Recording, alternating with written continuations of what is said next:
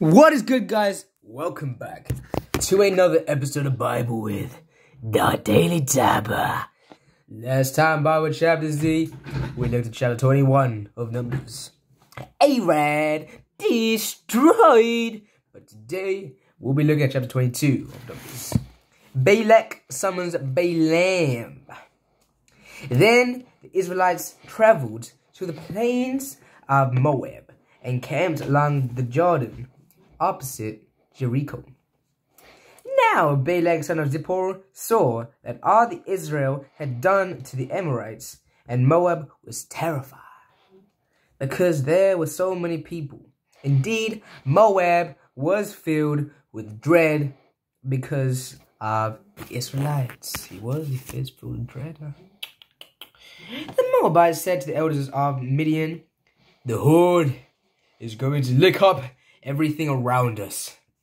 As an ox licks up the grass of the field. Bedtime!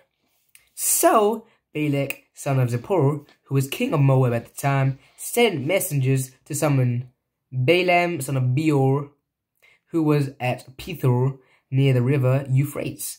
In his native land, Balak said, A people has come out of Egypt. They cover the face of the land and have settled next to me.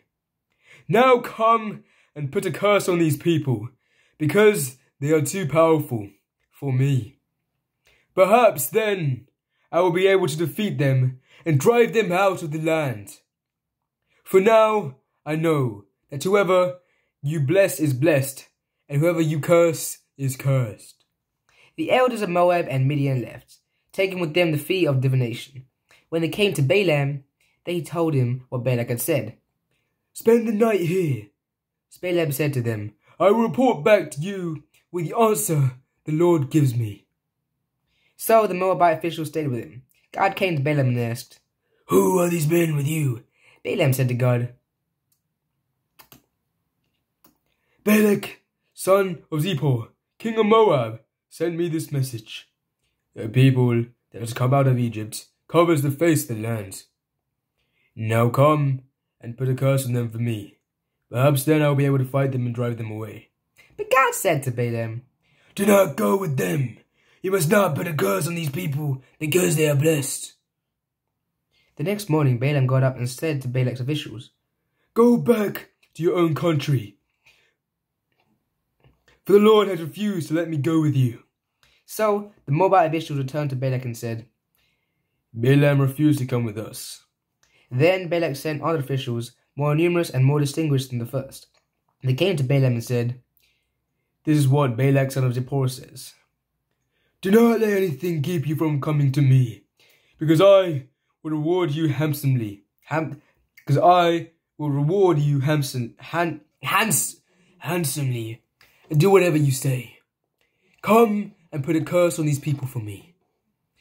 But Balaam answered them, even if Balak gave me all the silver and gold in his palace, I could not do anything great or small to go beyond the command of the Lord my God.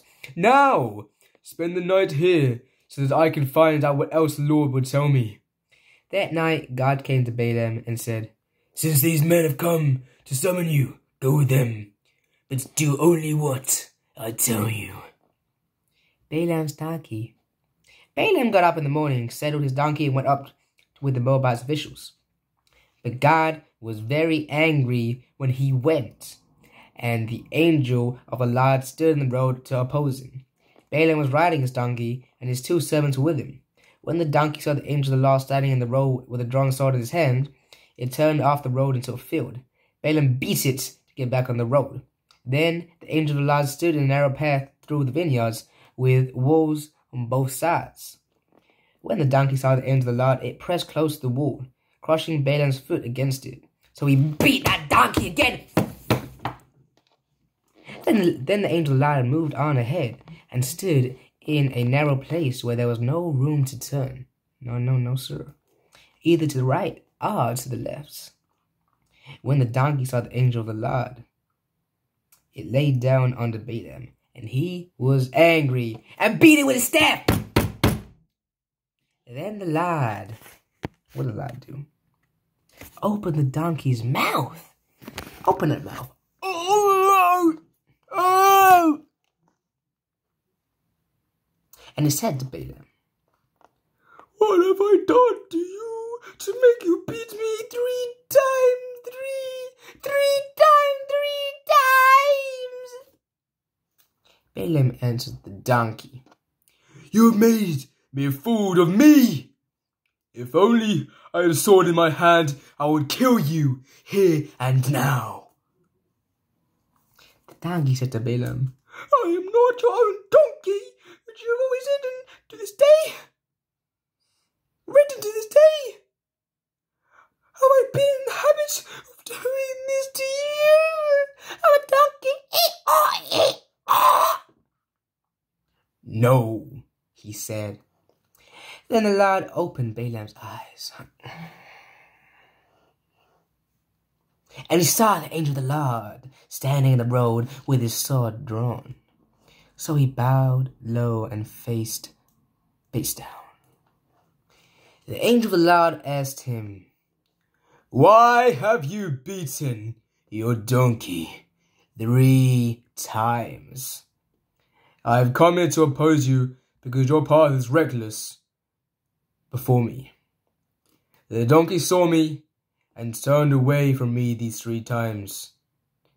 If I had not turned away, I would certainly have killed you by now, but I would have spared it. Balaam said to the angel of the Lord, I have sinned. I did not realize you were standing in the road to oppose me. Now, if you are displeased, I will go back. The angel of the Lord said to Balaam, Go with the men but speak only what I tell you. So Balaam went back with Balak's officials. When Balak heard that Balaam was coming, he went out to meet him at the Moabite town on the Arnon border, at the edge of his territory. Balak said to Balaam, Did I not send you an urgent summons? Why did you come to me? Am I not able to reward you? Well, I've come to you now, Balaam replied. But I can't say whatever I please, for so bloody stonky speak at me. I must speak only what God puts in my mouth. Then Balaam went with Balak to Kiriath Huzoth. Balak sacrificed cattle and sheep and gave some to Balaam and the officials who were with him. The next morning Balaam took Balaam no Balak took Balaam up to Bamoth Baal, and from there he could see the outskirts of the Israelite camps. Thank you all for listening. It's been a pleasure. I am David Zappa, and this is